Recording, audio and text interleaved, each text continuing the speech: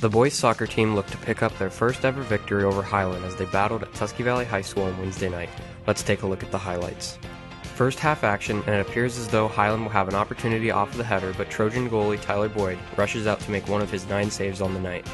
Later in the first half, and Diego Castanera has a shot on goal, but Hiland's Derek Burke comes up with one of his five saves on the night. The rest of the first half was a physical affair with neither team able to score, and the teams went to halftime tied at 0 0. Second half action, and Hiland has a great opportunity, but once again, Tyler Boyd comes up big as he rushes out to stop the Hawk threat. Later in the second half, and the Trojans have a great scoring opportunity, but Josh Reagan is unable to convert as his shot goes wide right and we are still scoreless. The Trojans appear to have another opportunity. Josh Reagan and the Hiland goalie collide, and the Tusky Valley threat is turned away once again. Late in the game, and Hiland has an opportunity with a corner kick, but Tyler Boyd once again comes up with a stop.